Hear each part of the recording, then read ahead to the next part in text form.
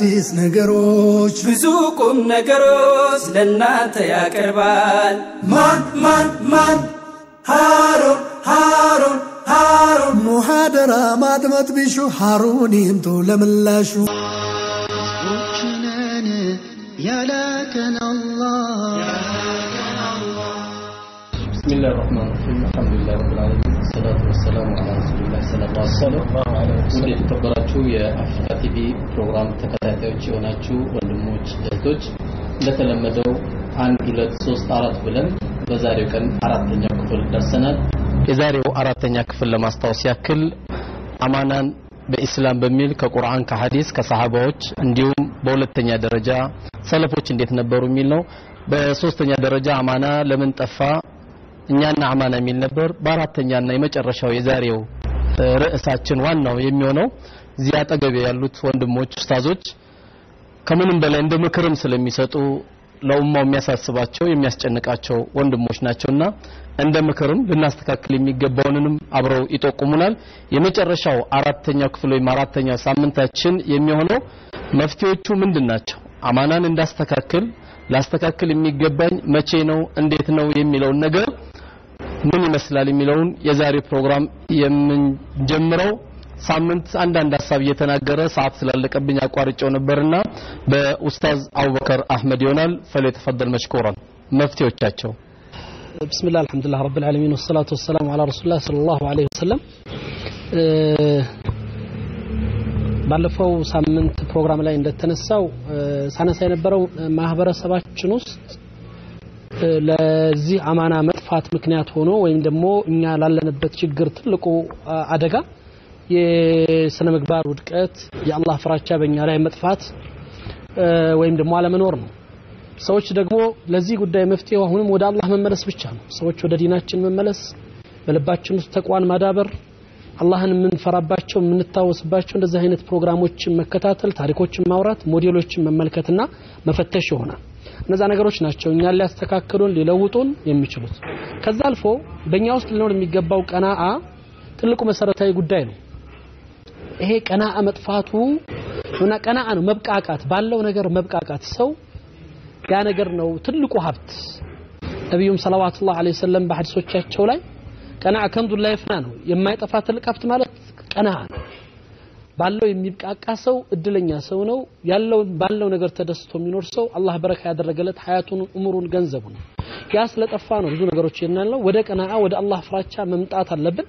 ባለፈው ያነሳሁትን ሀሳብ ምናልባት ልግለጽና እዛ ጋር የዣን ነገር ልወዳለሁ ማህበረሰባችን ሁሉም ሲባል ችግሮቹ ሰፍተዋል አድገዋል። በጣም በአስከፊ በሆነ ተጨባጭ ውስጥ ሆነን የስነ ምግባር ውድቀቱ እያደገ መጥቷል ብለን ስንል ሁሉም ሰው የዛ ችግር ሰለባ ነው ማለትም አይደለም በዚህ ዘመን ላይ አሉ ወይ ተብለው እንዲታሰቡ የሚያስብሉ የሚያስደምሙ ሰዎች እናገኛለን። እኔ አንድ ታሪክ የሰማሁት ታሪክ አለ።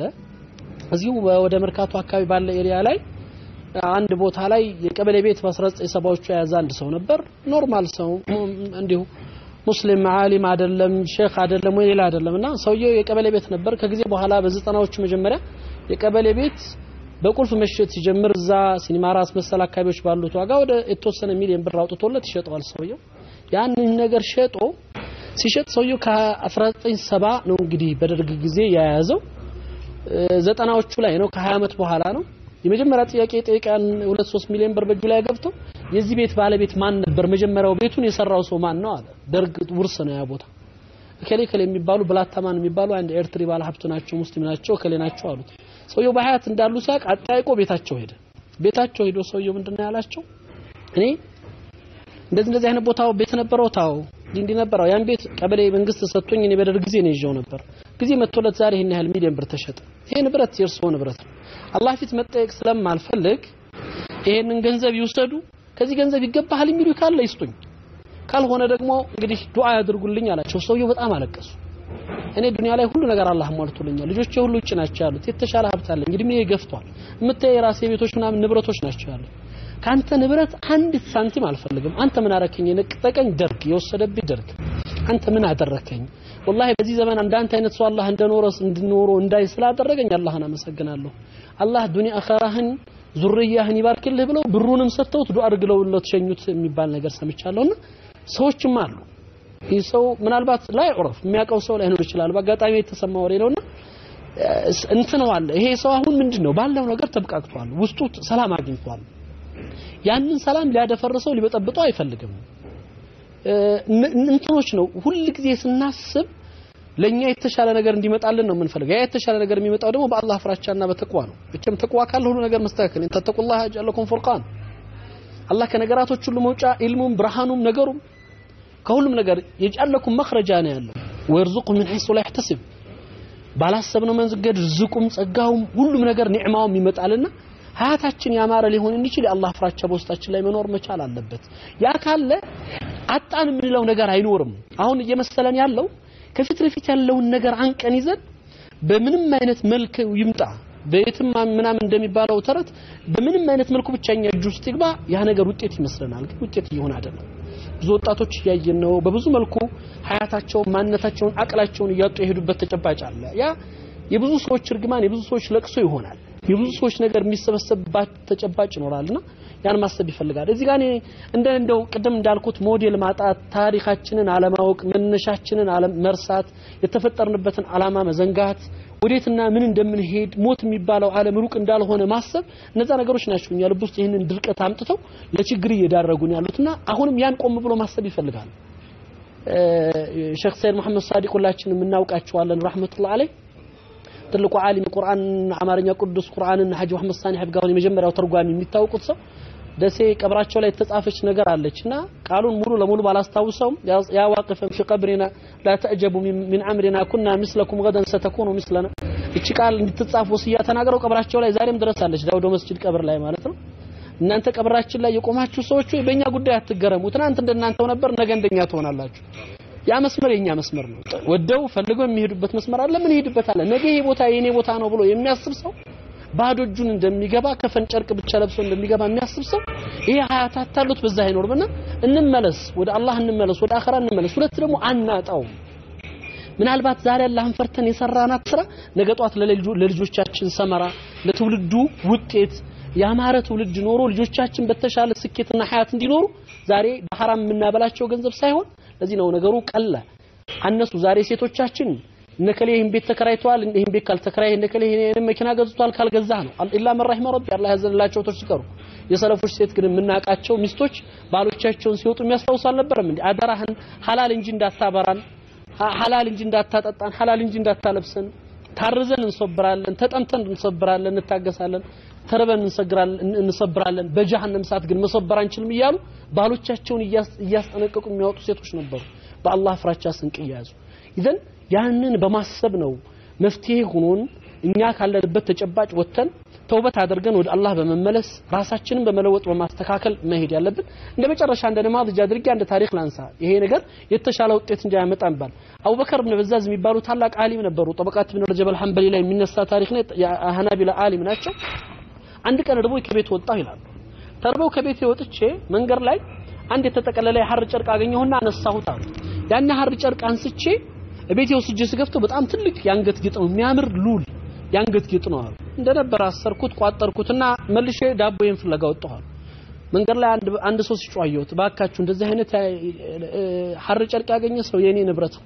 ላገኘበት ካሳ 500 ዲናር እከፍላለሁኝ ባካችሁ ያለ ሲጮህ ጠራሁት። ጠየቅኩት ጨርቁንም እቃውንም ነገር ከነማሰሪያው። እቤት የወሰድኩና ሰጠሁት አሉ። ስሰጠው ሰውየው ጀዛከላህ ብሎ እኔም ደግሞ ቃል የገባሁትን 500 ዲናርን ካወሰድ ሲለኝ እቺን ያንተን 500 ዲናር ከወሰድኩ ካላህ ዘንድ ሐቅ ላጣ ነው። ስለዚህ ብሯንም አልፈልግም ገንዘብ እቃህን ውሰድ ወሰላሙ አለይኩም አልኩት አሉና ሰውየው ሲወጣሉ ቢለምነኝ እምቢ አልኩት። ሊወጣ ሲል ግን እንደው አንድ ብር ልጠይቀው ስለ ራበኝ ለቂጣ መግዣ የምትሆን እንደው ኹብዝ የምትገዛልኝ ብያልኩትና ያቺ ልጠይቀው ፈልጌ አሁንስ አላህ አጅርህን ወስደሃል ብሎ ቢያስቀርብኝ እስቢ እሷንም ተውኳታል። እሱን ሸኝቼ እኔ ዳቦዬን ፍለጋ ወጣሁ። ከዘመናት በኋላ በአንድ መርከብ ነጋዴዎች ጋር ተሳፍረን ጀልባ ተሳፍረን ስንሄድ መንገድ ላይ አደጋ ተፈጠረ ችግር ተከሰተ። ባህር መንገድ ላይ ጀልባዋ ሰጠመች ሰዎች ሁሉ ወጡ። እኔን አንድ ደሴት ላይ አላህ ጣለኝ አሉ። ተፋ። የደሴቷ ሰዎች አንስተው ህክምና አድርገውልኝ መስጊድ አስገቡኝ። አሊም ናቸው። ቁርአን ሲቀሩ ሲያዩ አስተምረን ስጽፍ ሲያዩ ከጥ አሳውቀን እያሉ መጡ አለ። በኋላ ላይ በጣም ወደዱኝ። አካባቢው እንዳለቅ ስለፈለጉ በትዳር ሊያስቀሩ ይፈልጋሉ እና ሴት እንዳረ ሚስት እንዳረ ማን አንዲት ሳሊህትም ልጅ አለች አባት የሞተባት ሴት እሷን እንዳር አሉኝ አሉ በጣም ኢላህ ሲያደርጉ ሲወተውቱኝ ይቻልኳቸው መርሐባ ተባለ መጣች ኒካሁን አደረጉ፣ መስጊድ ላይ ደገሱ። ልጅቷን ይዘዋት ሲመጡ ልጅቷን ሳያት ያ ያግን ጠፍቷ ያገኘሁት አንገት ጌጥ ልጅቷ አንገት ጌጥ ላይ ያየሁት ነው። ደንግጬ አንገት ጌጡን ሳይ ወኪሏ ከሰርተ ቀልብ ሀዲህ ለቲማ የዚችን የቲም ልጅ ልብ ሰበርክ። እሷን ማየት ትተህ ጌጧን ታያለህ እንዴ አለ። እኔና ይሄ ጌጥ ጭሱ አለን ታሪክ አለን ብዬ ታሪኩን ስነግራቸው መስጊድ ላይ ያሉ ሰዎች ሁሉ በተክቢራ ይጮኻሉ። ምንድነው ነገሩ? የዚህ ልጅ አባት ከሐጅ ሲመጣ እሷን ይዞ መንገድ ላይ እዚህኛ ሀገር ላይ ሲደርስ ታመመ። ከዛሬ ነገ ድናለሁ እያለ በሽታ የሞት በሽታ ሆነና መጨረሻ ሲደርስ አንድ ወስያ ተናገረ። በዱንያ ላይ አንድ ያገኘሁት አማና የነበረው አንድ ሰው ነበር። ይህንን ዳይመንድ የአንገት ጌጥ አግኝቶ የሰጠኝ ሰው ጌታዬ፣ ያን ሰው ሳታገናኝና ልጅን ሳልድረው እንዳትገለኝ እያለ አላህን ይለምን ነበር። አንተን አምጥቶ እሷ ጋር አገናኘህ አሏቸው ይባላል። ከዛ እሷም ሁለት ዓመት ሁለት ልጅ ወልዳ ልጅ ሞተች። የአንገት ጌጡንም ወረስኩት። በመቶ ሺዎች የሚቆጠር ሽጬ እኔን የምኖረውበት ያ ገንዘብ ነው አሉ ይባላል። እና ለአላህ ብለን የምንተወው አላህን ፈልገን የምናደርገው ትርፍ እንጂ ኪሳራን አያመጣብንም። ያን አለመገንዘባችን እያስከፈለን ያለው ዋጋ ስለሆነ ያንን ማሰብ ይገባል። መፍትያችን የአላህ ፍራቻ ቢሆን ነው የምለው። ወላሂ አለም። ጀዛከላህ ኸይረን ኡስታዝ አቡበከር ኢንሻአላህ።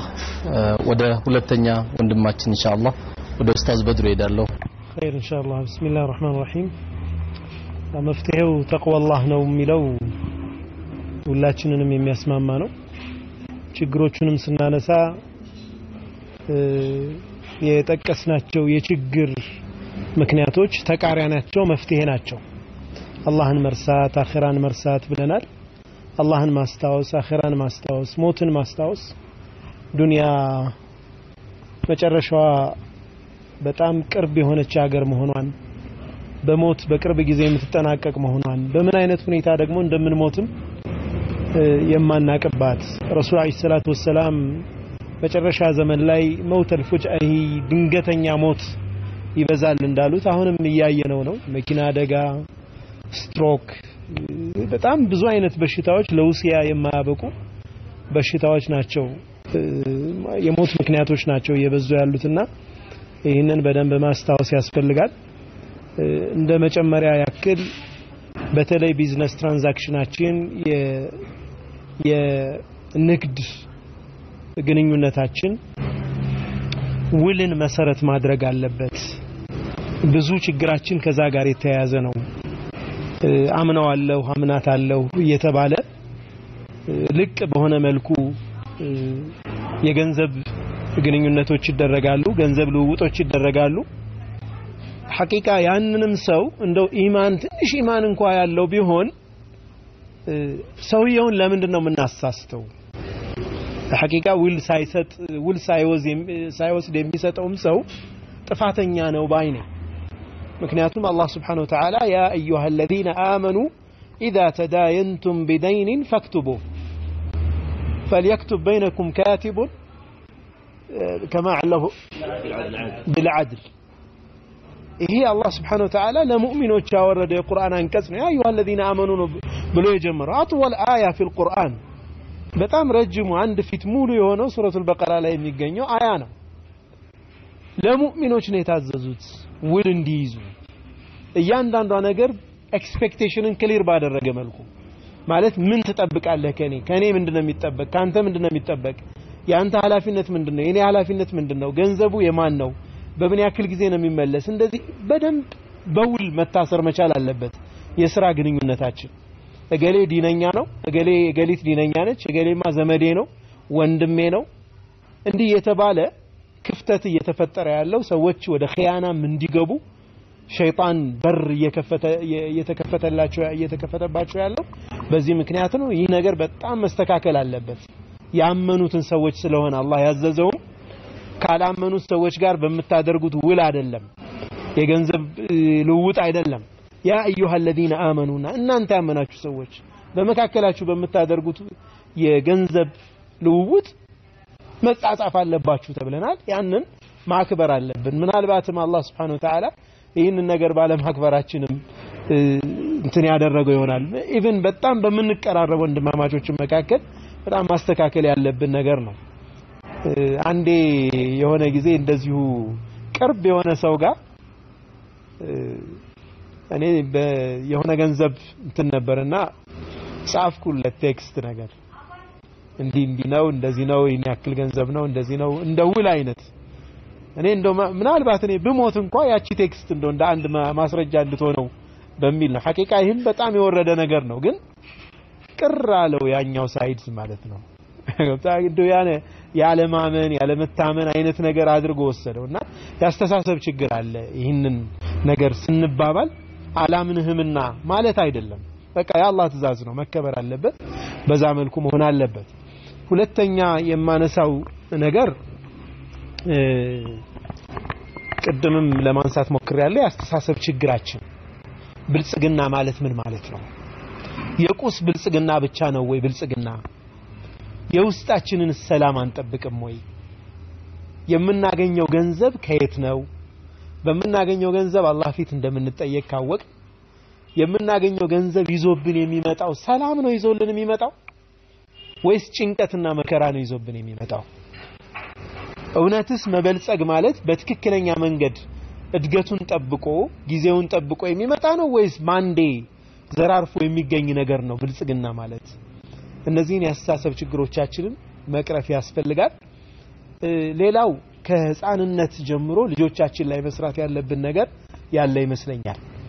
ህፃናትን ከታች ጀምሮ የመስጠት ከልቸር የመስጠት ባህል እንዲያዳብሩ ማድረግ መቻል አለብን። የመውሰድ አይደለም የኢንፋቅ ባህል ማዳበር አለባቸው። መስጠት መልመድ አለባቸው። ሰደቃ መልመድ አለባቸው። ይህ ነው ከቀልባችን ውስጥ የዱንያን መሐባ እያወጣን የምንሄደው በዛ መልኩ ነው። ሁለት ነገሮችን ማስተዋል ያለብን ይመስለኛል ትንሽ ገንዘብ እያለን ካልሰጠን ብዙ ገንዘብ ሲኖረን አንሰጥ በትንሽ ያልተለማመደ በብዙ አይሰጥም። ትንሽ ገንዘብ እያለው ከዛች ከትንሿ ገንዘብ የተወሰነ ነገር ገንዘብ ማውጣት ያለመደ ሰው ብዙም ኖሮት አያወጣም። የዛኑ ያክል የዱንያ መሐባችን እየጨመረ ስለሚሄድ። በትንሽ ገንዘብ ያልታመነ ሰው በብዙ ገንዘብም አይታመንም እዚህ ህጻናትን እንደዛ ነው የምናስለምዳቸው። ከትንሽ ጀምሮ እያሳደግናቸው እያሳደግናቸው አማናን መጠበቅም ገንዘብ መስጠትም responsibility እየሰጠናቸው ያንን ኃላፊነት እንዲወጡ በማድረግም ልጆቻችንንም ከታች ጀምሮ ማነጽ ያስፈልገናል። እኛም ላይ የባህሪ ለውጥ ለማውጣት ለማምጣት መወሰን አለብን። ወላሂ አንዳንድ ወንጀሎቻችን አላህ መቼም አላህ አውፍ ይበለን አላህ ይማረን አላህ ይጠብቀንም። አንዳንድ ወንጀሎች ተዓዲ የማያደርጉ አሉ። ከእኛ ላይ ብቻ የሚቀሩ ወንጀሎች ይኖራሉ። በተወሰኑ ሰዎች ላይ ብቻ የሚቀሩ እንደው ለአውፍታ የሚመቹ ወንጀሎች አሉ። ተውባም ስታደርግ ይመቻል ሄደህ ያንን ሰው አንድ ሰው ነው የሚሆነው። ሄደህ ይቅርታ ትጠይቀዋለህ። ሁለት ኮንቴነር ሙሉ እስክርቢቶ አስገብቶ ውስጡን ሰማያዊ ቀለም ቀብቶ ባዶ እስክርቢቶ ሁለት ኮንቴነር የሸጠ ሰው እንዴት ብሎ ነው አፉታ የሚጠይቀው በእነኚህ ሁሉ ገጠር ያሉ ህፃናት እኮ በቃ ባዶ እስክርቢቶ ገዝተዋል። የት ነው የሚያገኛቸው? እና የምንሰራቸው ወንጀሎች በራሳቸው የሆነ ለአውፍታ የማይመቹ አይነት እንደው አላህ ዘንድ የማያላቅቁ አይነት ነገሮች በጣም መጠንቀቅ አለብን። ሐቂቃ ከአላህ ጋር በጣም መታየት አለበት ነው የምለው። ኢንሻአላህ ጊዜ ጨርሻለሁ ይመስለኛል። ሰላም አለይኩም ኢንሻአላህ እንግዲህ እንቀጥላለን ክፍል ሁለቱን የዚህን ፕሮግራም። በቀጣይ ፕሮግራም እስክንገናኝ ድረስ አፍታ ቆይታ ካረግን በኋላ ኢንሻአላህ ጠብቁን እንመለሳለን ኢንሻአላህ نحن قوم أعزنا الله حسنان يا لكنا الله ብስሚላህ ራህማን ራሂም ተመልሰን ከአፍታ ቆይታ በኋላ ተመልሰናል ኢንሻአላህ በመቀጠል ኡስታዝ ሰይድ አሊ ኢንሻአላህ ያው ለማስታወስ ያክል እስካሁን ከተነጋገርንባቸው መፍትሄዎቻቸው ምንድናቸው የአማና የሚለውን ኢንሻአላህ ባለችው ደቂቃ ትነግረናል ኢንሻአላህ ቢስሚላህ ራህማን ራሂም እንግዲህ በባለፈው ፕሮግራማችን ስንገልጽ የነበሩት ችግሮች ወበድድሃ ትዕረፉ الاشياء እንደሚባለው ችግር የተባሉ ነገሮች ከተቃራኒያቸው መፍትሄ ነው እና አብረንም በዛው ስናነሳቸው ነበር በዋናነት እንግዲህ አላህ ስብሓነሁ ወተዓላ ፍርሃቻ ነው ጉዳዩ ነገ ረብ ልዓለሚን ፊት እቆማለሁ የሚል ጥያቄን ወይም ደግሞ ሀሳብን በመዘንጋት የሚፈጠር ችግር ነው አላህ ስብሓነሁ ወተዓላ ለዚህም ነው እነዚህ ሚዛን አጉዳይ አንሸራታቾችን አማናን የሚበሉትን ሰዎች ሲገልጽ ويل للمطففين الذين إذا اكتالوا على الناس يستوفون وإذا كالوهم أو وزنوهم يخسرون ألا يظن أولئك أنهم مبعوثون ليوم عظيم يوم يقوم الناس لرب العالمين ወየውላቸው ለነዚያ ሚዛን የሚቀንሱና የሚያንሸራትቱ ሰዎች እንግዲህ ከሰዎች መዝነው ሲቀበሉ ሞልተው ከተቻላቸውና ካገኙም ደግሞ አስመርቀው ያስመዝናሉ እነሱ ግን ለሰዎች ሲመዝኑ እያጎደሉ ወይም ደግሞ እየቀነሱ ይመዝናሉ እነዚህ ሰዎች እንደው ምን አይጠረጥሩም? ደግሞ ምንም አይገምቱ ይገምታሉ ወይ? አላ ዙሉ አላ ዙኑ ላይከ አንሁ መብዑሱን። እንቀሰቀሳለን ብለው አይጠረጥሩም ወይ? ግምት የላቸውም ወይ? ያ ቀን ደግሞ አላህ ሊየውሚን ዐዚም። እንግዲህ በአላህ አገላለጽ ከባድ ለሆነ ቀን የቀኑን ክብደት የቀኑን ግዝፈት እኛ በቃላቶቻችን ከምንገልጸው በላይ አላህ ስብሓን ወተዓላ ከባድነቱን በተለያየ ቁርአን አንቀጾች የገለጸበትና በጣም ከባዱን ቀን አይፈሩም ወይ? የዚያ ቀን ተቀስቅሰን ረብ ልዓለሚን ፊት ሰዎች ሁሉ የሚሰበሰቡበት ሜዳ ላይ እንሰበሰባለን ብለው አይገምቱም ወይ ብሎ አላህ እንግዲህ በማስጠንቀቂያና ማስፈራሪያ ያዘለ የሆነ መልእክት ያስተላልፋል። እንግዲህ ያን አንቆምም ብለው ያሰቡ ሰዎች ከሆኑ ይህን የሚፈጽሙት ነው። እዚህ ነገ ረብ ልዓለሚን ፊት አላህ ፊት እቆማለሁ ብለው ያሰቡ ሰዎች ምን ያህል አማናን አደራን ይጠብቁ እንደነበረና የሰዎችን ሐቅ ይጠነቀቁለት እንደነበረ የተለያዩ ምሳሌዎችን ተመልክተን አልፈናል። በመቀጠልና በሁለተኛ ደረጃ ቀደም ወንድም በድሩ ከገለጸው ሀሳብ ጋራ ባጭሩ የአላህን ስብሓነሁ ወተዓላ ሱና የአላህን ስብሓነሁ ወተዓላ የህይወትን ስርዓት መሳት ወይም ደግሞ መዘንጋት ነው። አብዱላህ ብን መስዑድ ያወሩት ሐዲት አለ። ኢነ ሪዝቅ አላህ ላ የጁሩሁ ሒርሱ ሐሪስን ወላ የሩድሁ ከራህቱ ካሪህ የአላህን ሲሳይ ሪዝቅ ሰው ጉጉቱ ጥማቱ ፍላጎቱ ስለጨመረ አይጨምረውም ከፍ አንድ እርምጃ አንድ ሳንቲም አይጨምረው አይገባም። አይ ደግሞ አስጠልቶኛል አልፈልግም ስለ ደግሞ የአላህን ርዝቅ አይመልስም። የአላህ ርዝቅ መቅሱም ነው። ርዝቅ ከአላህ ስብሓን ወተዓላ ዛሬ ሱቄን ስከፍት ወይም ንግድ ቦታ ልሸጥ ልገዛ ሲሄድ አላህ የጻፈልኝ ርዝቅ ተጽፏል ብለን ካልን ያን አምነን ከሆነ የምንንቀሳቀሰው ለዚያ አላህ የሰጠኝ የወሰነልኝን ርዝቅ ለማግኘት አላህ ያስቀመጠውን የህይወት ሱናውን ሰበቡን ለማድረስ ነው የሚሄደው ብሎ ያመነ ሰው ወደ ሐራም መጀመሪያውኑ አያስብም። ስለዚህ ይሄ ነው ዋናው ቁም ነገር። የአላህን ስብሓን ወተዓላ ሱናን መከተል በዚህ መልኩ አላህ የሰጠኝን ርዝቅ በባለፈው ፕሮግራም እንደገለጽ ነው አላህን ፈርተን አፈላለጋችን እንድናሳምር ያደርገናል። የአላህ ፍርሃቻ ብቻ ሳይሆን የዱንያን የአላህን ስብሓን ወተዓላ ሱናን ከተመለከትና ከሄድን በሶስተኛ ደረጃ የሚገልጸው መፍትሄም ልክ እንደዚሁ የአላህን ስብሓን ወተዓላ ሸሪዓን የአላህን ዲን ተግባራዊ ማድረግ። ሐቂቃ እንደ ሙስሊሞች ነን ስንል ብዙ ጊዜ እንደውም አንዳንዴ ከዲኑ ራቅ ያሉ ሰዎች እኛ ካለንበት ችግር አንዳንዴ ይጸዳሉ። ለምን? ቢያንስ በሚያምኑበት በሚያውቁት ምድራዊ ህግ ስለሚፋረዱ ያን የህግ መስመር ተከትለው ትንሽም አክሲዮን ሲመሰርቱ በውልና ማስረጃ ሄዶ ተዋውሎ ምናምን ነገር አድርገው ይሄዳሉ እኛ ወይ ከዲኑ መተን ሸሪዓው ስለ ንግድ ምን ሸርጥ ምን መመሪያ ህግ አለው ብለን ሸሪዓውንም አልያዝነው ወይ ደግሞ ያኛውንም ምድራዊውንም ህግም አልያዝነውም አንዱንም ጥሎ አንዱን አንጠልጥሎ እንደሚባለው አይነት በዚያ መካከል ነው የምንዋልለው። ለዚህ የአላህ ሸሪዓ ቅድም ተጠቅሷል። ለምሳሌ ያ አዩሀ ለዚነ አመኑ ኢዛ ተዳይንቱም ቢደይን ኢላ አጀል ሙሰማን ፈክቱቡ ጻፉት። አሁን ዛሬ ምን ያህላችንን ንግድ ውስጥ ገብተን ዛሬ የሁላ ሐራም የሁላ ጥፋት እየተፈጸመ ያለው የአላህን ሸሪዓ በመጣሳችን ነው። ሙሽ አንዳንዴ መጻጻፍ አይደለም ተሐዩል ተንኮል ዘዴዎች ራሱ በንግዱ ዓለም ላይ እየተፈጸሙ ያሉት። የተለያየ ሐራሙን የንግድ የሪባን አይነት እንኳን ንግድ በመካከላችን እየተነጋገር እየተለዋወጥን ያለ ነው። ስለ ሸሪዓ በይዕ አሰለም አሰለፍ ዑለማዎች በፊቅህ ኪታብ ላይ ስንት ሸርጥ መስፈርት ያስቀመጡለትን መመሪያ በሐዲትም በቁርአን መመሪያ የወረደባቸውን ጉዳዮች ላይ ቁጭ ብለን ዑለሞችንም አንጠይቅም። የትኛው ሐላል ነው የትኛው ሐራም ነው አንልም። ብቻ ጫፍ ጫፉን እያያዝን የሚመቸን እያለን እጥፍጥ ዝርግት እያለን እየሄድን ያለ ነው እና አንዳንዴ ሸሪዓው ሲያግተን ወይም ደግሞ ሲያስቆመን በሌላኛው እየተጠቀምን በዛ በኩልም ያለውን ነገር ወይም አጥብቀንም ሳንይዝ ነውና የአላህን ሸሪዓ በህይወታችን ላይ መተግበር መቻል አለብን በአላህ ሸሪዓ መሰረት የምንነግድ ከሆነ ብዙ ችግሮቻችን የመቀረፍ እድላቸው በጣም ሰፊ ነውና አሁንም ቢሆን የአላህን ሸሪዓ ሐቂቃ ዛሬ ቡዩዕ የሚባለው የፊቅህ ባብ በጣም ሰፊ ክፍል ነው። በጣም ብዙ ዑለማዎች እንግዲህ በፊቅህ ዕልም ላይ ያለፉ ዑለማዎቻችን በጣም ብዙ ሰፊ ጊዜያቸውን የወሰደ በጣም የሚያስቸግር የፊቅህ ባብ ፊቅህ ልቡዩዕ ነው። ነገር ግን ዛሬ ሰዎች ስለ ፊቅህ አልቡዩዕ ምን ያህል መጥተው እየጠየቁ እየተማሩ ነው ወይ የሚነግዱት? ሸሪዓው የፈቅደውና የማይፈቅደውን እየተከተሉ ነው ወይ ያሉት የሚለውን ጥያቄ ስናነሳ ሐቂቃ ወላሂ በጣም የሚያሳዝን ነውና የዚያ አንድ መገለጫ ነው። ይህ አማና የጠፋበት ምክንያት። ስለዚህ አማና ተአማኒነት እንዲመጣ ለዚህ ነገር መፍትሄ የሚሆነን ህይወታችንን ቁል ኢነ ሰላቲ ወኑሱኪ ወመሕያየ ወመማቲ ሊላሂ ረቢል ዓለሚን። ህይወቴ ለአላህ ስብሓን ወተዓላ ታዛዥና ተገዥ አድርጌያለሁኝ እጄን ሰጥቻለሁኝ። ሰላቴና ስግደቴ የመስጅዱ ብቻ አይደለም። ህይወቴም በአጠቃላይ ቤት ውስጥም ገበያ ውስጥም መንገድም ላይ የትኛውም ቦታ ላይ ድርጅቴም ላይ የአላህ ሸሪዓ ነው ህይወቴ ካልን ሐቂቃ ሸሪዓው እስከት የትኛውን ያዛል የትኛውን ይከለክላል በእውቀት መንቀሳቀስ መቻል አለብን። ያወቅነውን ነገር ደግሞ እንደዚሁ በአቅማችን በመተግበር የአላህን ስብሓን ወተዓላ ሸሪዓ በህይወታችን ላይ ፈጻሚዎች ሆነን ይህን የቁርአን አንቀጽ ተግባራዊ ማድረግ መቻል አለብን።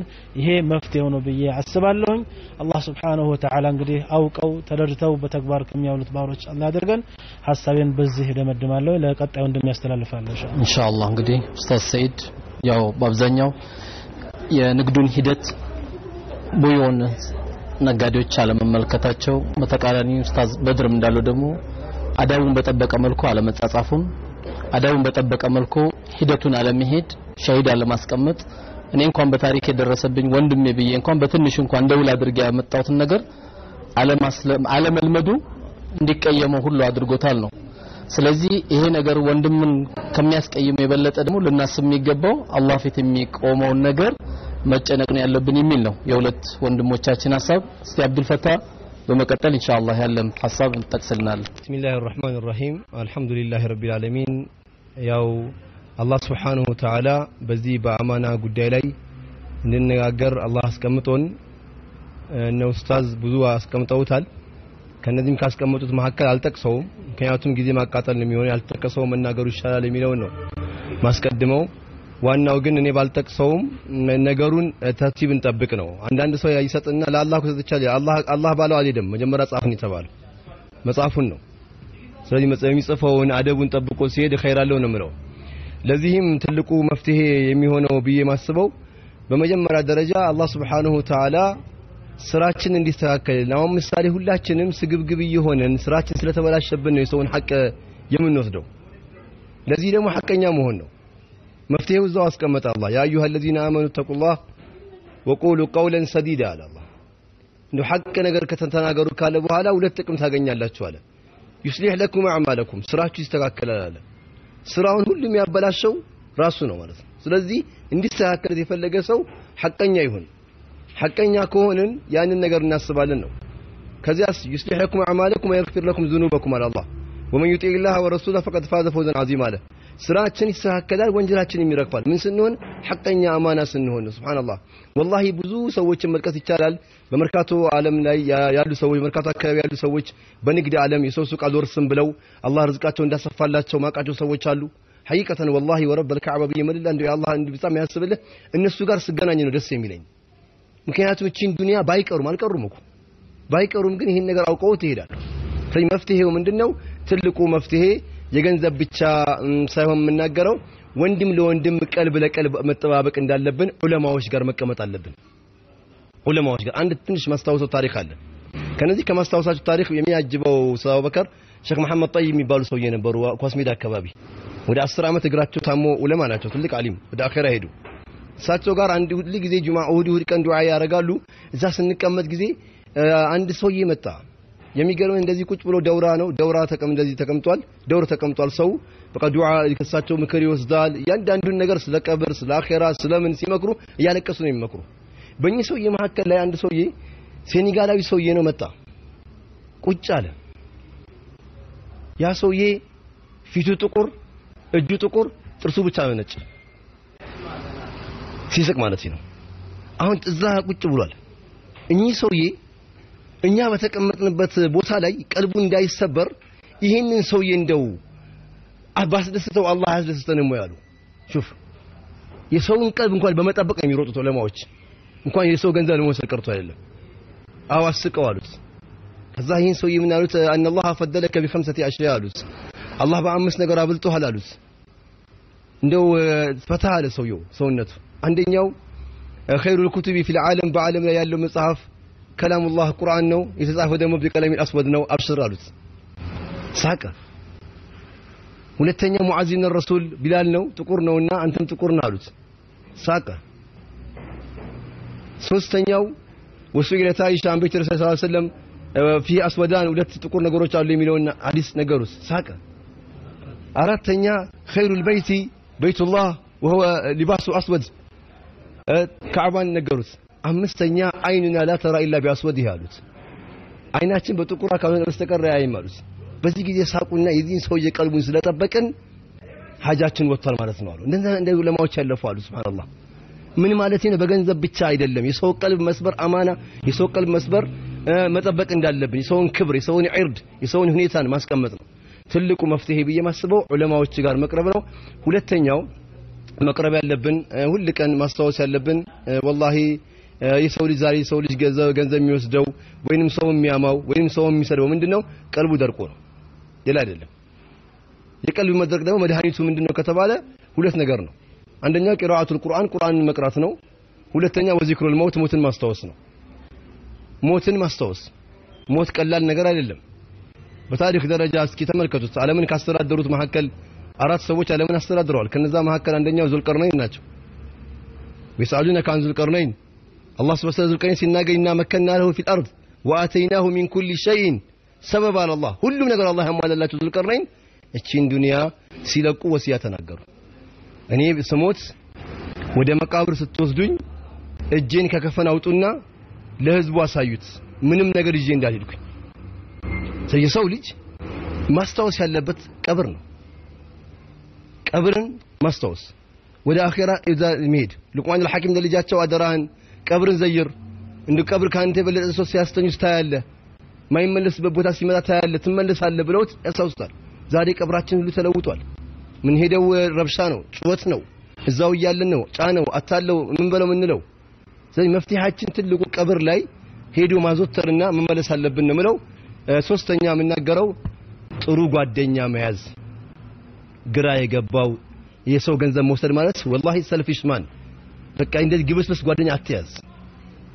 ጥሩ ጓደኛ ያዝ። ሐጅ በደረሰ ሐጅ ደረሰ ዑምራ ደረሰ ኸይር ነገር ደረሰ ብሎ የሚያስታውሰንን ጓደኛ መያዝ ነው ያለብን። በአሁን ሰዓት የምንቀመጣቸው ጓደኞች ሁሉ ሕበ ዱንያ የሚረጩብህ ናቸው። ለዚህ ነው ጓደኛህ በጣም መጥፎ ነገር ተጽዕኖ አለው። ጓደኛህን ጥሩ ጓደኛን ፈልገህ የመያዝን ጉዳይ ላይ መሄድ ነው ያለብን። አኼራ የሚያስታውሰን ጓደኛ ያዝ። ወደ ኸይር ስራ የሚጠቅሙ ጓደኛ ያዝ ወላሂ ቢያገኝ ይረዳሃል ቢያጣ ዱዓ ያደርግልሃል። ያ ሌላው ግን መጥፎ ነው። ኻይን ውስጥ ነው የሚገባውና እነዛን ነገሮችን ማድረግ አለብን ምለው ርዝቅ ደግሞ እንደሚታወቀው የሰው ልጅ ሞኝ ነን እንጂ አንድ ሰውዬ ምን አሉ? አዋጁ እኮ ያለቀው ወማ ሚን ዳበትን ያለቀን ነው አሉ። በቃ وما من دابة ያለቀን አዋጁ አልቋል አሉ። وما من دابة في الأرض إلا على الله رزقها ያለቀን የዛን ቀን ነው አዋጁ ያለቀው አሉ። ሱብሃንአላህ። إلا على الله رزقها አላህ ጋር ነው ርዝቁ አሉ። ولو طرت شرقا ومغربا لن تجد إلا ما قدر الله إليك ፀሐይ መግቢያ ፀሐይ መውጫ ብትበር አላህ ከመደበልህ ነገር በስተበልጥ አታገኝም። ስለዚህ ጥሩ ጓደኛን መያዝና የርዝቅ ጉዳይ አላህ ጋር ነው የሚያሳስበን ብዬ ነው የምወስነው። በመጨረሻም አንድ አስተዳደጋችን ያለው ኡስታዝ በድሩን ላነሳ ፈልጌ ነው። አዎ አስተዳደጋችን ስለተበላሸ ነው። ምክንያቱም አሁን ሁለት ህፃናት ልጆችን ስናሳድጋቸው ሁለት ህፃን ቤት ውስጥ አለን። አንዱ ምግብ በደንብ ይበላል አንዱ አይበላም እኛ ሌላ ዘዴ መጠቀም ሲገባን እንትና ሳይመጣ ጨርስ ቶሎ በጨርስ ጨርስ ብሎ እሺ እሺ ብሎ ይጨርሳል። ያዛን አያውቅም። እያደገ ዘካት ስጠይቀው ማይሰጠው ለዛ ነው። ጨርስ ተብሎ ነው እንዳይመጣብ እንዳይመጣብህ ተብሏል። ስለዚህ እንዳይመጣብህ እንዳይመጣብህ ስለተባለ ያደገበት ሐዋርያ ነው። ጫላ ጩቤ ጨበጠ ብሎ አፉን የከፈተ ህፃን ጩቤ ቢይዝ ምን ይገርምሃል? አፉን ያስከፈት ነው በባጢል ባልሆነ ነገር ነው ያሰራን ያለ ስለዚህ እንደው ትልቁ አስተዳደጋችን ላይ ለውጥ ማምጣት እንዳለብን ነው ወላሂ ያንን ህፃናት ልጆችን ስናሳድጋቸው በአኽላቅ አማና ነውና እኛን ስለሚከተሉን ይህንን ነገር ይዘን መሄድ አለብን ነው ምለው በመጨረሻም ያው ቁርአን መቅራት ነው ቁርአን ከመጀመሪያ እስከ መጨረሻ ያለው የቀልብ ያጥባል አላህ እኮ የሚገርመው ንግግር አንድ ይሄ ቁርአን አያ ሳስታውሰው ሁሉ አያው ይገርማል ثم قست قلوبكم على الله من بعد ذلك فهي كالحجار على الله እንደው የሚገርምህ ነገር እንደ ድንጋይ ይደረቃችሁ አለ። ድንጋይ እምቢ ሲል አሁን መንገድ ሲሰራ ድልድይ ሲሰራ በዲማሚት በሮኬት ያፈንድዱታል፣ ያስቸግራል በጣም ከዚያ በላይም ደረቃችኋል አላህ አው አሸዱ ቀስዋ ከድንጋይ የበለጠ ደርቀሃል እንዴ አንተ ጥሩ እየበላህ ለወንድምህ መርዝ የምትልክለት አደብ አድርጎ እኮ ነው አላህ የሚለው ድንጋይ እኮ ሶስት ጸባይ ሶስት ጸባይ አለው አለ አላህ ሶስት ጸባይ አለ وإن من الحجارة لما يتفجر منه الأنهار وإن منها لما يهبط من خشية الله ውሃን እኮ የሚቋጥረው ድንጋይ አለ እንደ spring water የሚረጭ አለ ፈርቶ ደግሞ የሚያለቅስ አለ ከድንጋይ ጸባይ እንኳን የላችሁም ነው አላህ የሚለው ትንሽ ረሕማ እንኳን የላችሁም የሚለውን ነገር አላህ ያመጣው ለዚህ ዒላጁ መፍትሄው قراءة القرآن وذكر الموت ሶስተኛው መጨረሻ የምናገረው ምንድን ነው የበላያችንን ምንመልከት ያለብን በአኼራ ጉዳይ ነው ሌሊ የሚቀራው ቁርአን የሐፈዘው ዳዋ የሚያደርገው እንደው በጣም ለአላህ ብሎ የሚደክመውን ሰው እሱ ላይ ለመምጣት ለመድረስ እንጂ ለመመቀኘት አይደለም። ችግራችን እኮ ያ ነው። ለመመቀኘት አይደለም። ሒስድ ምንድነው ቅናት? እንደሱ በሆንኩኝ ነው። ቀጥሎ ደግሞ ያለው ሁለተኛው እንደምታየው ለመመቀኘት ሳይሆን የእሱን ስጠኝ ለማለት ነው። በደንብ አድርጎ ስታየው ምን ስትለው በቃ እንደሱ አይነት አላህ ያድርገኝ ብለህ ትንትን ትላለህ። እነዚህን ነገሮችን ማድረግ ያለብን። ያው አላህ ስብሓንሁ ወተዓላ በተናገርነው የምንሰራ አማና በትክክል ዱንያ ላይ ተወጥተው የሚሄዱ ባሪያዎች አላህ ያደርገን። ይሄ ሁላ ጊዜ የተነጋገርነውን ሁላ ተናግራችኋል ብሎ ደግሞ አላህ እንዳይታዘበን። ሰርታችሁ አልፋችኋል ምንባልበት ከራማ አላህ ይስጠን። አልহামዱሊላህ በዚሁ አጋጣሚ አባቴ በህይወት አሉ። በጣም ከማረሳው ታሪካቸው መካከል ወላሂ ለቤት ስጋ ገዝተው ሲመጡ ለድመቷ ለድመቷ ሳምባ ይዘው ይመጣሉ ይመጡ ነበር። እኛ ስንበላ ለሷስ ሐቅስ እያሉ ይነግሩን ነበር። አልহামዱሊላህ እንደዛ አይነት ነገሮችን አድርገን ጠብቀን ማደግ ነው ያለብን ምለው ወሰላሙ አለይኩም ወራህመቱላሂ ወበረካቱ። ኢንሻአላህ ጀዛከላህ ኸይረን ኸይረል ጀዛ። እንግዲህ ተመልካቾቻችን ኢንሻአላህ የመጨረሻው ክፍል የሚሆነው መዝጊያችን የሚሆነው ከአፍታ ቆይታ በኋላ ወደ ሁለት ኡስታዞች እንመለሳለን። እስከዚያ ድረስ ባላችሁበት ሁኔታ ኢንሻአላህ እንድጠብቁን ነው። ኢንሻአላህ ከአፍታ ደቂቃ በኋላ እንመለሳለን እስከዚያው ሰላም አለይኩም نحن قوم أعزنا الله ركنان يا لكن الله ቢስሚላህ ራህማን ራሂም ውድ የተከበራችሁ የአፍሪካ ቲቪ ተከታታይ ወንድሞች እህቶች አባት እናቶች እንግዲህ ለመጨረሻ ጊዜ አማና በሚመለከት አማና ለምን ጠፋ በሚል የመፍትሄ ሀሳቦች በተለያዩ ኡስታዞች እየተጠቀሱ ነበር። አሁን ይህን ክፍል ደግሞ የምንዘጋው ወንድሞች ብዙ ሀሳብ ተናግረዋሉ ግን ያው ፕሮግራሙን የምንዘጋው የዚህ ሀሳብ በኡስታዝ ሸቃሲም ሐጂና በመጨረሻም ደግሞ በኡስታዝ ካሚል ሸምስ ይሆናል። መጀመሪያ የምሰጠው ለኡስታዝ ሸቃሲም ሐጂ ይሆናል። ፈለተፈضل እሽኩራ እንግዲህ ወንድሞቼ ከቀኝና ግራ ተቀምጦ ሁለት ነገር እኩል አንስቶታል። እንደማዳምጠው ከሆነ መብትና ችግሩን አብሮ በማስተያያት አስቀምጦታል። ይህ ማለት ዛሬ ካለንበት ሁኔታ ለመላቀቅ ያክል ብዙ ስለተናገርን ሳይሆን አላህ ስብሓን ወተዓላ በራሱ በቀዳና ቀደር ሲወፍቀን ብቻ ነው ሰው ሊያስተውለው ይገባል። ብዙ ስላለቀሰ ብዙ ስለቆመ ብዙ ስለቀራ ብዙ ስለሰገደ ብዙ ስላዳመጠ አይደለም። ትናንትና ያለፉ ህዝቦች ታሪክን እንደ ምሳሌነት የምናነሳቸው ለምንድን ነው አንድ ሰው በመጥፎነት ካለፉ ታሪክ የምነሳው እንዲጠነቀቅ ነው። አንድ ሰው ካለፉት ሰዎች በጥሩት የሚጠቀሰው አርአያ ሆኖ እንድንከተል ነው። እነዛ ሰዎች በመልካም ደረጃ ትልቅ ደረጃ የደረሱ ሰዎች አላህን በማፍራት ነው። መብቴ ማለት ተመስኩ ብልኪታብ ወሱና ሲሆን ቁርአንና ሀዲስን ተከተልኩ በሚል ሳይሆን እንደተናገርነውና ወይ እንዳልነው በተግባሩ ተገብረን ስንገን ብቻ ነው። ይህ ማለት ዛሬ ትናንትና የነበሩ ሰዎች ያገኘናቸው በመልካምነታቸው አላህን ለምኖ አንሶንላቸው ነው ያየናቸው ያነበብናቸው ታሪካቸው። እንደ ምሳሌነት ሁለት ሰዎች ላነሳላቸው ወዳለሁኝ ከምታውቁት በአብደላ ብን ሙባረክ ዘመን መካ ውስጥ ለእስትስቃ ይወጣ ዝናብ ጥየቃ አላህን ሁሉም ስለምነው አላህ ዋልና አለቀሰና ምንም ሳይዘንብ ብሎ ቀን ቀጠለ። ማታ ወደ መስጊድ ተመልሶ አብደላ ብን ሙባረክ መስጊድ ገብቶ በጨለማ ውስጥ ተቀምጦ አንድ ሰው አላህን ይለምናል። ምንድነው የሚለው? ጌታዬ ምን ነው ለምን ዝም ያልክባቸው? ባሮች ተሰብስበው እያለቀሱብህ የለምን አይደለም እንዴ? ለምን ዝም ያልክባቸው ብሎ አላህን ሲማጸን ወዲያውኑ ዳመና መጣ፣ ዝናብ መጣ፣ ዘነበ ይላል አብዱል ሙባረክ ረህመቱላህ አለይህ። መስጂዱ ክፍት ከላይ ጣራ ስለሆነ መሬቱ ሁሉ ረጥቦ ይህን ሰው ማወቅ አለብኝ ብሎ ጭቃን አንስቶ ከኋላ ልብሱን ቀባው አብዱል ሙባረክ። በኋላ ሰላት ዒሻ ሰግዶ ከኋላ ተከትዬ ሄድኩኝ አለ። ይህ ሰው ጠዋት ለማየት ፊቱን ሲሄድ ጨለማ ነውና መካ ውስጥ ባሮች የሚሸጡበት ክፍል ገባ አለ። አልኩና ቁሜ አይቼ ወደ ቤት ተመልሼ ከነጋ በኋላ በረፋዱ ሰዓት ልክ ሰራተኛ ተቀጣሪ ሰው እንደሚፈልገው አይነት ጌት ዚህ ጌቶች እስቲ አንድ ባራን ጊዜ መግዛት ፈልጋለሁኝ አልኳቸው አለ። ገና ሲገባ ማታ የቀባሁት ሰውዬን አገኘሁኝ አለ።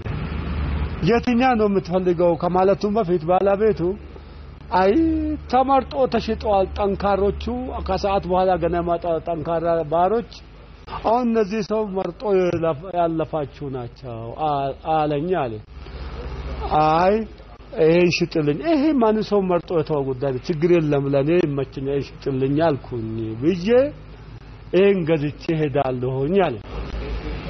እንደ አብረን እንደወጣ ነው ይዤ አለቃዬ እውነት ነግሮሃልና ለምን መረጥከኝ? ለስራም አልመችም እኔ እውነቱ ነው አለ። ደካማ ሰው ነኝና ለምን መረጥከኝ ብሎ አብደላ ሙባረክ መልሶ ይጠይቃል።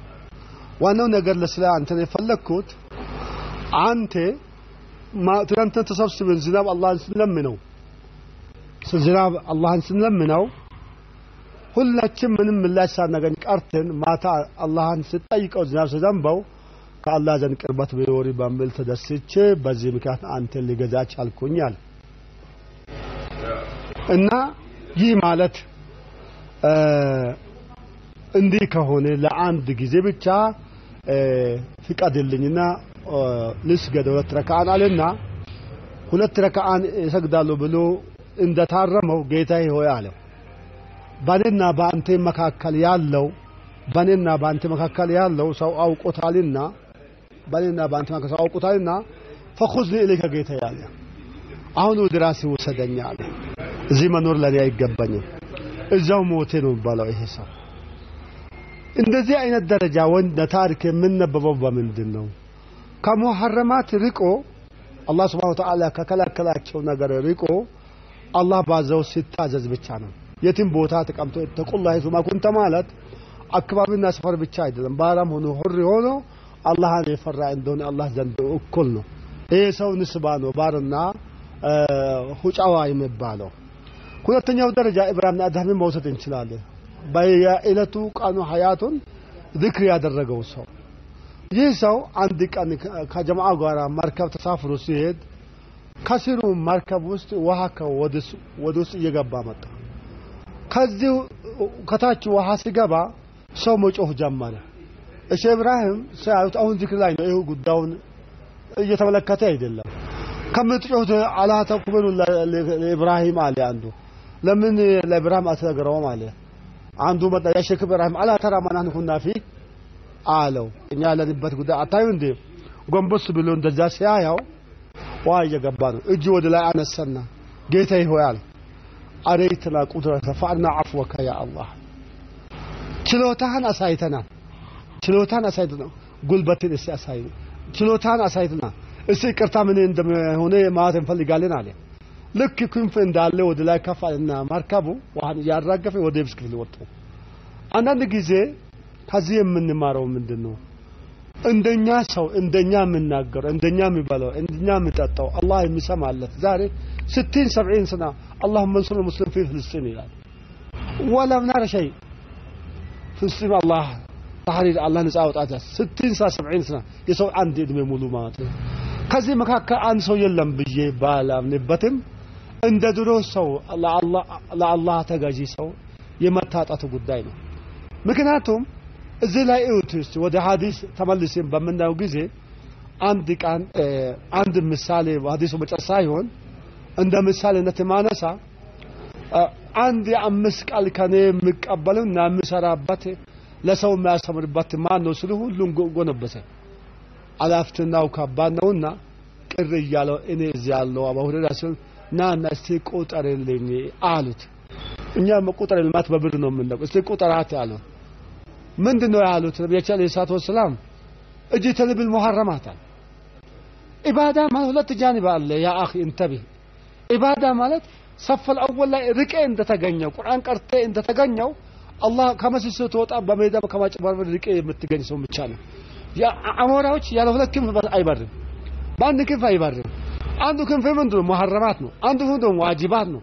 ዋጅባትና ዋጅባትን በመተግበር ሙሐረማትን በመራቅ ብቻ ነው ልንበር እንዳሞራ የምንችለው። ይሄ ቦታ አለመገኘቴ እኛን ከእውነት ሊረቅ ሊያርቃን ችለዋል ተኩም ምንዶ ጀዛው አዕበደ ናስ በዚህ ምድር ላይ የሰው አላህ ተገዢ ትባላል ያለው የአላህ ዓብድ መባል የጠፋበት ምንድን ነው? ከሙሐረማት የራቀ ሰው ስለጠፋ ነው። ብዙ ሰዎች ይሰግዳሉ።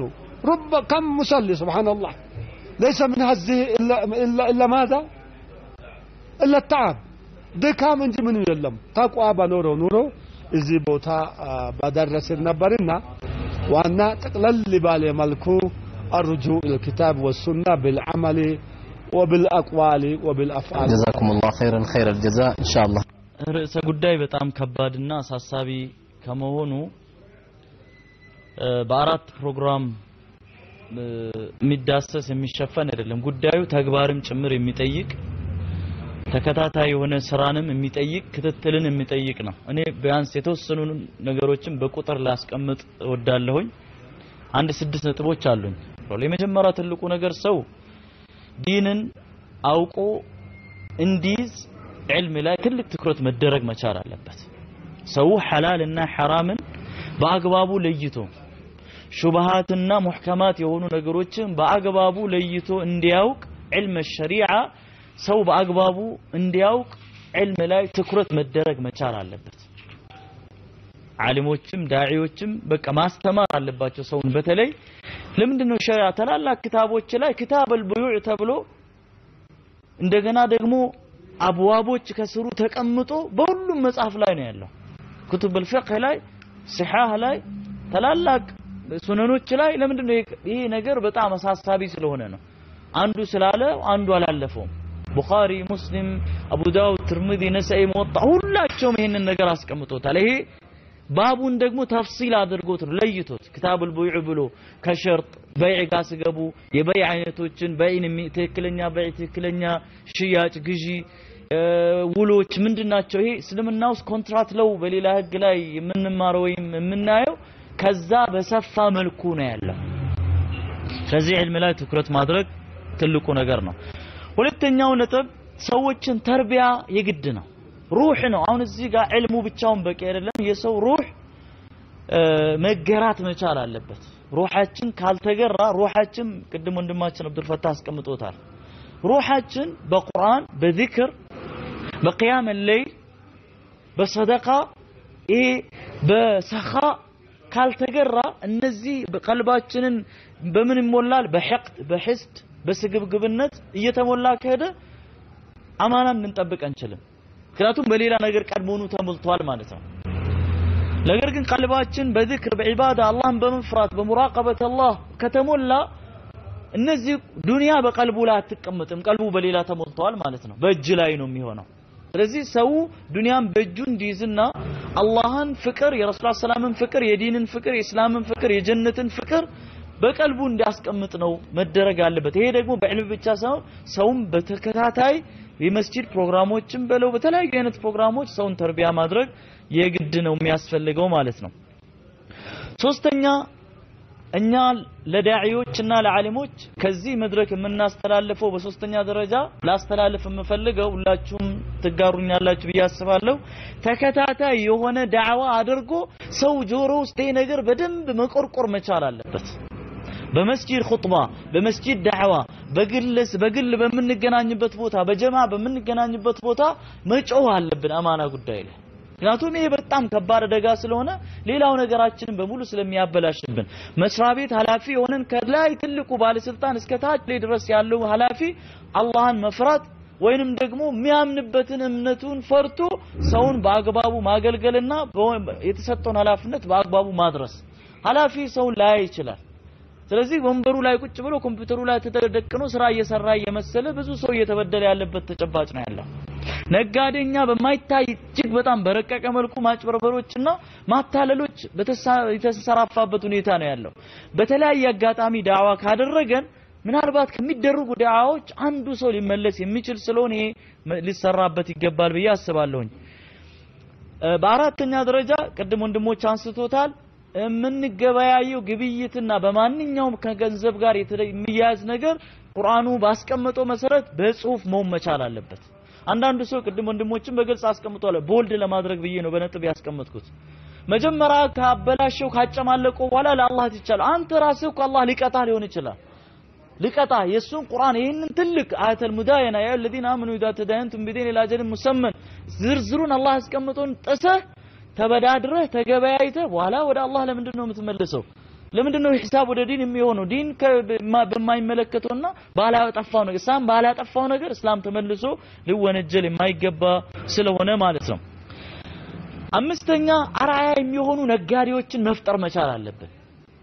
አርአያ የሚሆኑ ነጋዴዎችን በሐላል ከስቦ ከትንሽ ጀምሮ ሳያስገበገቡ ነግዶ ረክቶ ገንዘባቸው በገንዘብ ላይ ያደገ የሚሄዱ ነጋዴዎች መብዛት መቻል አለባቸው።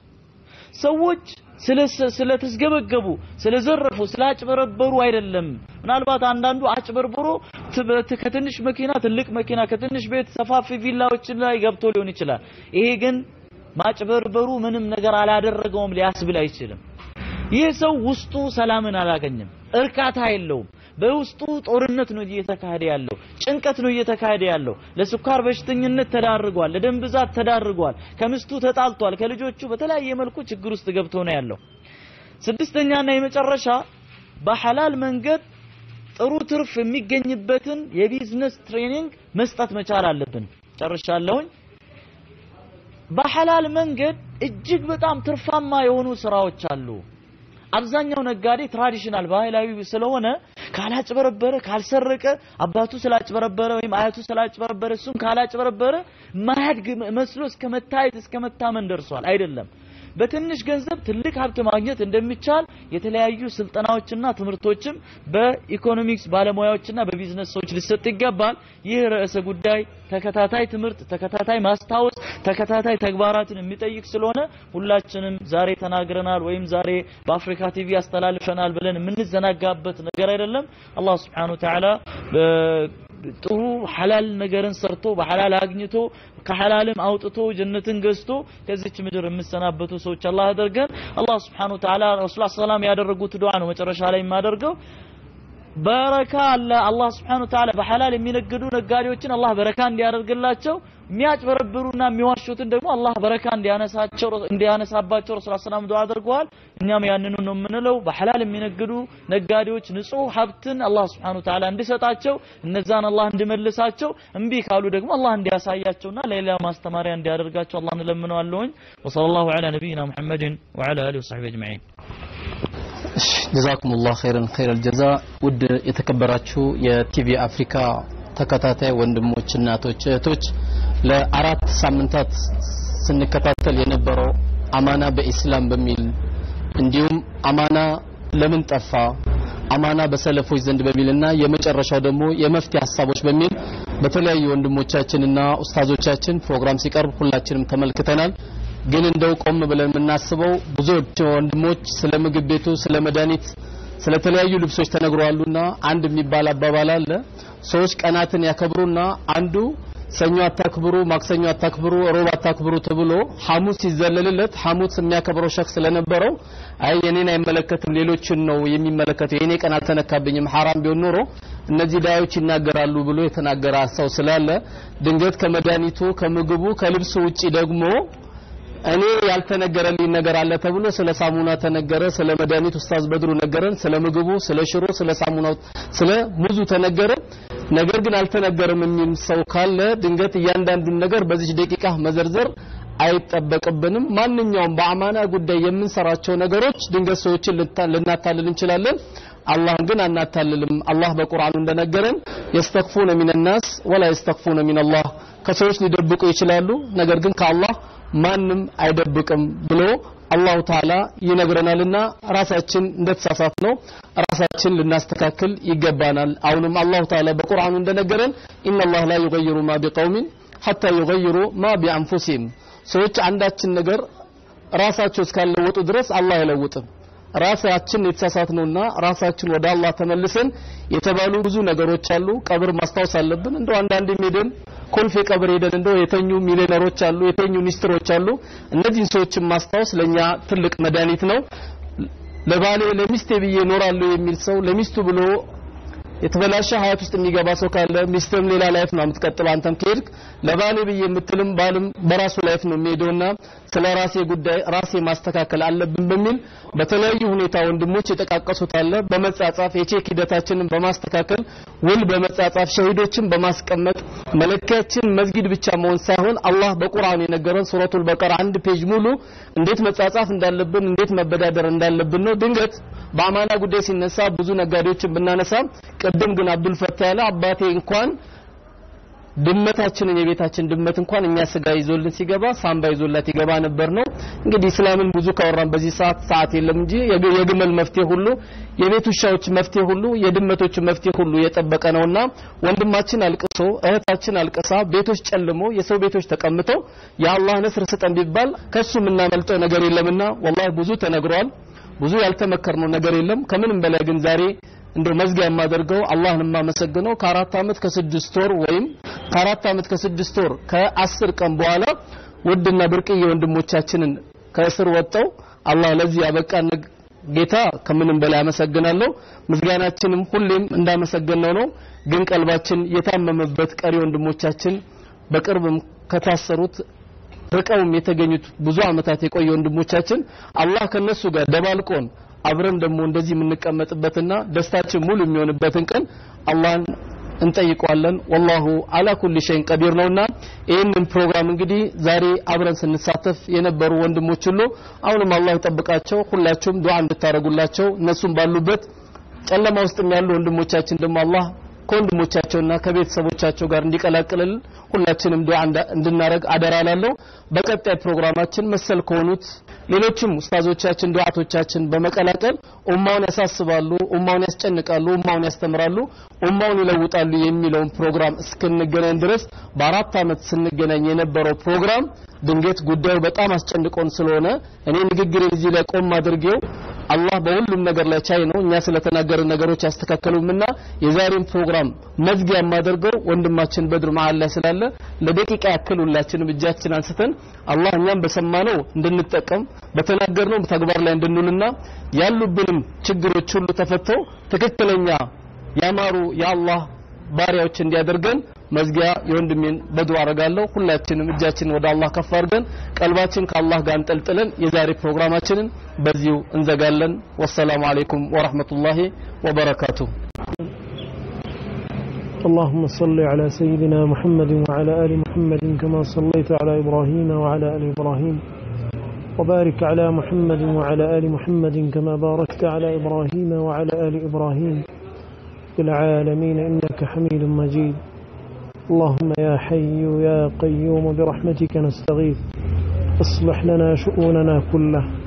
ولا تكلنا إلى أنفسنا ولا إلى أحد من خلقك طرفة عين. اللهم اجعلنا من الذين يستمعون القول فيتبعون أحسنه. ربنا تقبل منا القليل واعف عنا الكثير.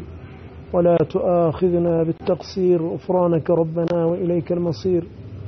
اللهم اكفنا بحلالك عن حرامك. اللهم اكفنا بحلالك عن حرامك. اللهم اكفنا بحلالك عن حرامك. وبمعافاتك من عقوبتك. وبك منك لا نحصي ثناء عليك. أنت كما أثنيت على نفسك. ربنا آتنا من لدنك رحمة وهيئ لنا من أمرنا رشدا. اللهم أطلق سراح إخواننا. اللهم أطلق سراح المظلومين. اللهم لا تدع لنا في مقامنا هذا ذنبا إلا غفرته ولا هما إلا فرجته ولا دينا إلا قضيته ولا مريضا إلا شفيته ولا مريضا إلا شفيته ولا, سك ولا سجينا إلا فكيت عنه ولا مظلوما إلا نصرته ولا مظلوما إلا نصرته ولا حاجة من حوائج الدنيا والآخرة إلا قضيتها وأعنتنا على قضائها برحمتك يا أرحم الراحمين. ربنا آتنا في الدنيا حسنة وفي الآخرة حسنة وقنا عذاب النار. صل اللهم وبارك على سيدنا محمد وعلى آله وصحبه وسلم. سبحان ربك رب يصفون. نحن قوم أعزنا الله. يا لكن الله. نحن قوم أعزنا الله. زبوتشنان يا لكن الله.